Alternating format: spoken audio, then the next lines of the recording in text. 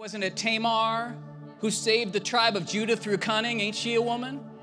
Oh, I'm sorry. Don't you remember Rahab who hid the spies and gave Israel its first victory in the promised land? And ain't she a woman? Oh, my apologies, but I seem to remember uh, somebody named Deborah, the prophetess, who was leading all of Israel as judge over the nation. And then she accompanied the men into battle and gave them a great victory by the Lord. Come on, somebody, and ain't she a woman? And there was, of course, Ruth, who was a picture of the Gentile church who gave us Jesus Christ as our kinsman redeemer. There was Esther, who through her influence and favor saved the entire nation of Israel from genocide. And ain't she a woman? Did not Abigail bring peace to David's fighting men and to David? Did not Bathsheba bear Solomon, the king who would build the temple? And ain't she a woman? And it was the woman, Mary, who bore the fruit of righteousness. Come on, somebody.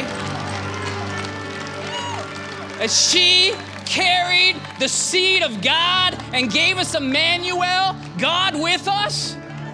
Priscilla in the temple was teaching in the temple courts when Jesus was brought in as an infant, and she recognized him as the Messiah before any man did. And she began to tell others that's the Messiah. And ain't she a woman? The women of history Susan B. Anthony, Rosa Parks, Helen Keller, that God has used throughout history there was a woman named Sojourner Truth. She was a slave woman, an African woman. And in 1851, she stood up and addressed a great crowd. And she said this Ain't I a woman? Look at me. Look at my arms. And she bared her arms for all to see.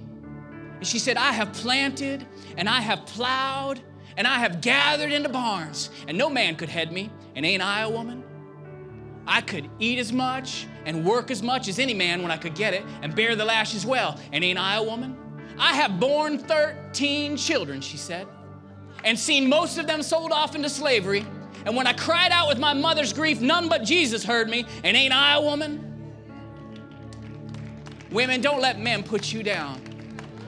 Because I believe in a church of the living God that has been called to be the salt and the light of the earth. Come on that God has left the church of the living God, his house, with the keys to the kingdom, and he has given her a voice and he has given the church dominion and authority over darkness. He has put underneath his feet and the church's feet his body, Satan. And ain't she a woman? The bride of Christ? Come on, somebody.